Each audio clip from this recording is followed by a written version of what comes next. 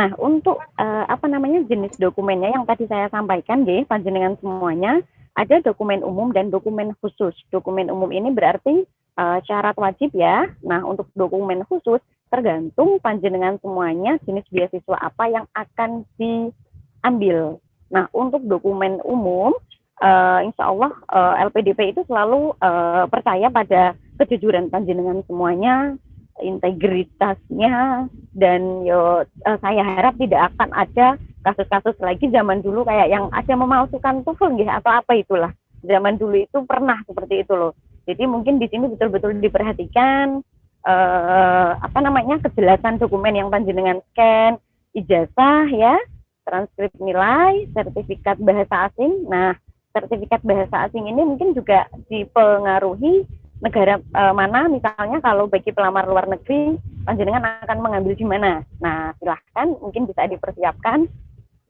E, sebenarnya ini bisa jadi kalau e, e, apa ini sertifikat bahasa asing ya, karena pernah ada ini e, apalagi mohon maaf ya bagi panjenengan yang akan melamar ke luar negeri, kampus-kampus luar negeri ini saya sedikit pengalaman teman saya nggih.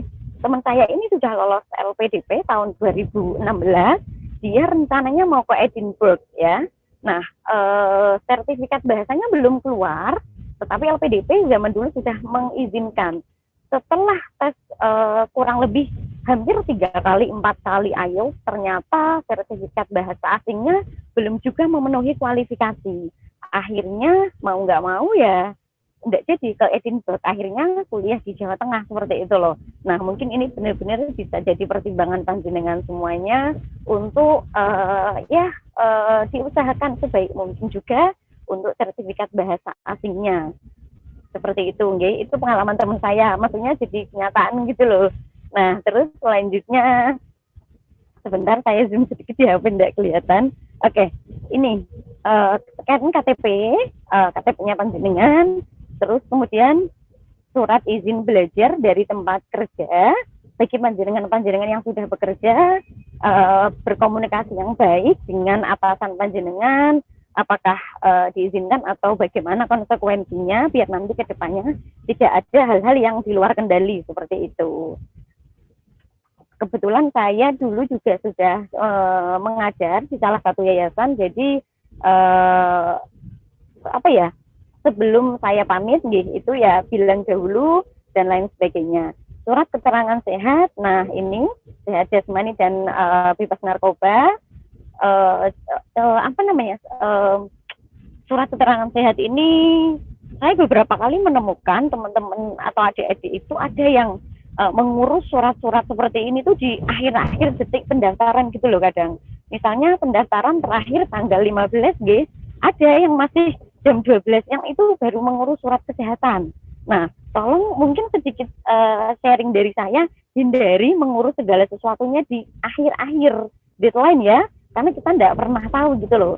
Kadang ada yang gara-gara uh, karena surat kesehatan ini kan harus dari uh, instansi pemerintah ya, uh, uh, fasilitas kesehatan, entah itu puskesmas, entah itu perusahaan apa namanya rumah sakit pemerintah itu loh.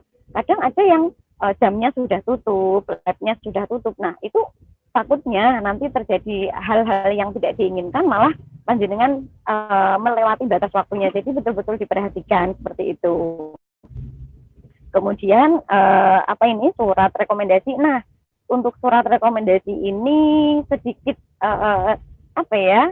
Uh, saya nggak tahu apakah ini bisa mempengaruhi pandangan dari LPDP melihat siapa yang merekomendasikan panjenengan tapi ini mungkin bisa dipertimbangkan gih uh, kalau memang nah jadi uh, untuk surat rekomendasi ini saya dulu pernah membaca beberapa artikel uh, tentang pemilihan siapa yang mau panjenengan uh, minta tolong sebagai reko, uh, surat uh, untuk meminta surat rekomendasi ini. Nah, kalau mungkin saya sharing sedikit pengalaman kalau memang panjenengan punya relasi yang cukup kuat, cukup betul-betul keilmuannya atau akademik atau mungkin powernya, nah itu monggo di, uh, disampaikan saja tetapi itu tidak mempengaruhi kok karena saya baca di artikel tahun 2016 dan 2015 itu ada juga yang hanya meminta surat rekomendasi dari ketua RT itu juga ada atau dari lurah setempat itu juga ada nah eh, ada juga yang meminta surat rekomendasi punya kenalan juta besar misalnya itu juga ada.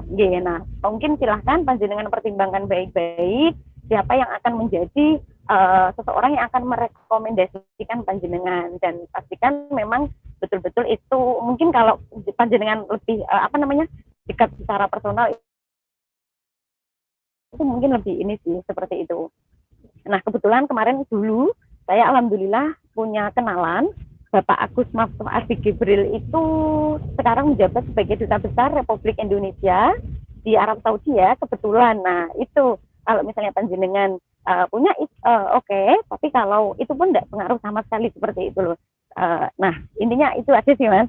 Kalau memang ada monggo, kalau tidak juga itu oke okay, tidak apa-apa. Kembali lagi ke bagaimana panjenengan meyakinkan diri panjenengan bahwa uh, panjenengan betul-betul bersungguh-sungguh pengen dibiayai sama LPDP seperti itu.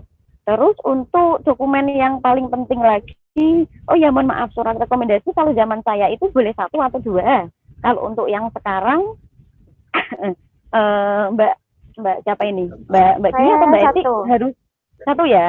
Satu, satu. kalau dua boleh enggak? Di berkas uploadnya hanya satu sih kalau saya. Oh, hanya satu gitu. Tapi oh, saya ya. menyediakan dua, cuma yang diupload satu. Oh iya. oh iya, nah jaga-jaga betul kata Mbak Eti atau Mbak Dwi uh, memang disyaratkan itu hanya satu tapi kalau panjenengan punya dua itu mungkin lebih baik lebih aman seperti itu nah kemudian untuk ah, rencana studi ini rencana studi ini alangkah lebih baik kalau panjenengan punya kakak tingkat atau punya kenalan awardee mungkin bisa konsul sedikit ya jadi betul-betul nanti isinya matang uh, bagaimana uh, apa namanya uh, isinya bagaimana dan selanjutnya nanti akan dijelaskan oleh Mbak Dwi dan Mbak Epi. Kemudian proposal studi panjenengan dan LOE. Nah, kalau ini bedanya kalau zaman saya itu 2016 itu LOE uh, kita belum kita boleh mendaftar LPDP meskipun tidak punya LOE. Tapi kan ternyata regulasinya ini berubah nggih. Nah, jadi betul-betul dipastikan bahkan kemarin teman saya yang PNS tahun 2020 kemarin kan ada uh, khusus PNS ya itu guru itu nah itu gara-gara LOE-nya telat dari kampusnya pengeluarnya nah akhirnya dia tidak jadi daftar nah jadi mungkin panjenengan semua kalau misalnya nanti harus melihat uh, jadwal keluar LOE ini betul-betul mungkin bisa diperhatikan baik kemarin teman saya di UNS UNS uh, jadwal tutup misalnya jadwal tutup FPDB itu tanggal 15 eh ternyata dari UNS-nya mengeluarkannya tanggal H plus satu atau H plus dua. Nah ini kan sayang sekali ya Maneman. Nah mungkin nanti panjenengan bisa betul-betul mengcross check lagi tanggalnya dan lain sebagainya. Nah untuk dokumen khususnya, nah ini ya sesuai dengan masing-masing jenis beasiswanya, misalnya kayak surat pernyataan dan lain sebagainya. Kalau untuk yang mau already LN, surat keterangan bebas TBC, kemudian jika pendaftar LN tidak berbasis bahasa Inggris, maka wajib mencantumkan bahasa yang berlaku misalnya bahasa Jerman dan lain sebagainya. Kemudian untuk uh, mas-mas, mbak-mbak yang S3, uh, eh, proposal penelitiannya silahkan dipersiapkan. Oke, okay, bisa next Mbak Eti. Oke, okay. nah uh, jadi dokumen yang pertama nanti akan saya sampaikan umum dulu, singkat saja. Untuk umum ini reguler ya, kalau reguler Berarti dokumen umum silahkan dilampirkan semuanya. Kemudian uh, untuk reguler ini sudah harus ada LOE sekarang ya, tapi khusus dokter. Nah, kayak gitu. Terus untuk yang dokter spesialis, surat tanda registrasi atau STR dokter umum yang diterbitkan oleh Konsil Kedokteran Indonesia KKI. Kemudian additional dan uh, silabus perkuliahan Kemudian disertasi untuk beasiswa disertasi, SK lulus ujian atau seminar proposal oleh pimpinan. Mbak Fitri mungkin sinyalnya lagi enggak baik ya? Nah, ini untuk reguler semuanya uh, umum, mohon maaf. Untuk yang jenis uh, beasiswa umum ini uh, sepertinya insya Allah aman ya, dokumen umum dan uh, selebihnya ini langsung lanjut aja ke afirmasi uh, akan saya lanjutkan dari Mbak Fitri. Uh, untuk tadi kan yang beasiswa reguler begitu ya, uh, umum maksudnya. Nah sekarang beasiswa af afirmasi. Nah di dalam beasiswa afirmasi ini terdapat uh, beberapa jenis jalurnya, yaitu yang pertama daerah afirmasi, Eh, ini syarat dokumennya yang khusus yaitu ijazah SD sampai SMA dan KTP dari daerah afirmasi itu.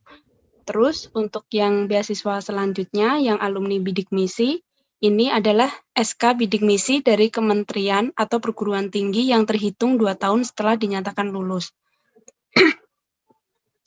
Lalu yang selanjutnya beasiswa prasejahtera berprestasi yaitu KK terbaru SKTM. SKTM ini surat keterangan tidak mampu ya. Ini dari kelurahan biasanya. Terus slip gaji atau surat keterangan penghasilan orang tua. Terus rekening listrik tiga bulan terakhir plus surat pernyataan bermaterai. Nah, untuk yang rekening listrik, listrik tiga bulan terakhir ini itu uh, semisal bulan Mei gitu ya uh, pendaftarannya dibuka. Berarti tiga, tiga bulan sebelumnya berarti Februari, Maret, April begitu kan. Nah, itu uh, bukti nyata dari struk listriknya, rekening listriknya gitu. Ditambah kita membuat surat pernyataan lagi bahwa memang benar-benar uh, rekening listrik itu semisal total biayanya berapa puluh ribu gitu. Nah, itu kita membuat surat pernyataan dan diberi uh, materai gitu. Tapi juga tetap dilampirkan uh, struk listrik struk rekening listriknya tadi. Baik, selanjutnya yaitu beasiswa santri. Yang pertama yaitu surat keterangan mengabdi. Ini yang khusus ya. Untuk yang umum itu semuanya pasti ada gitu.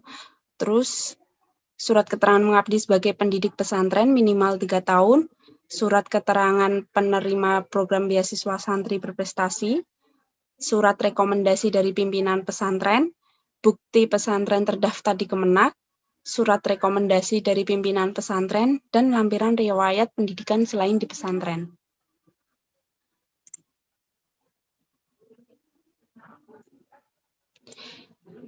Beasiswa afirmasi selanjutnya yaitu prestasi olahraga. Di sini eh, dokumen khususnya yaitu medali, piagam, atau sertifikat.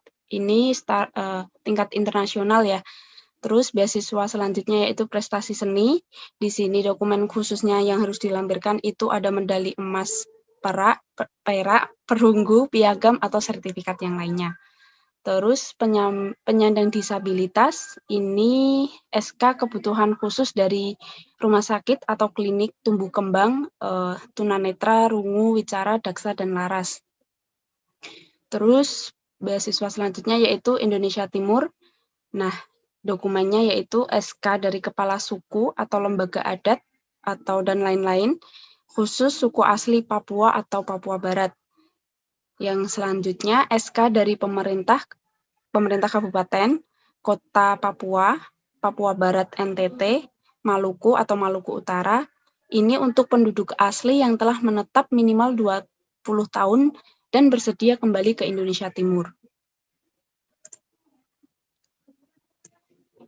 Next, uh, ini yang selanjutnya yaitu beasiswa targeted group.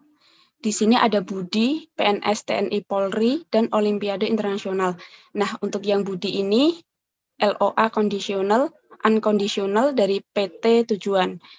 Terus yang kedua, surat izin mendaftar beasiswa dari pimpinan. Yang ketiga, surat izin tertulis melanjutkan studi. Dan yang terakhir, surat rekomendasi dari pimpinan berisi kebermanfaatan studi untuk institusi atau masyarakat. Lalu untuk yang beasiswa PNS, TNI, Polri ini, yang khusus PNS ya, surat rekomendasi oleh pejabat tingkat aselon 2, instansi asal, TNI, untuk yang TNI, surat rekomendasi oleh pejabat bidang SDM Mabes TNI, dan yang untuk Polri itu surat rekomendasi oleh pejabat bidang SDM Polri. Nah, untuk yang terakhir, Olim Olimpiade Internasional. Ini adalah surat rekomendasi dari Kemdikbud dan bukti prestasi nasional atau internasional. Nah, ini untuk beasiswa yang tahun 2020 ya, di mana kemarin itu ada beasiswa pendidik dan beasiswa PTP UD. Terus untuk yang beasiswa pendidik ini, eh, dokumen khususnya yang harus dilengkapi juga itu ada khusus guru, khusus guru tetap atau dosen tetap. LOA unconditional, dan surat izin mendaftar beasiswa dari pimpinan sekolah atau perguruan tinggi.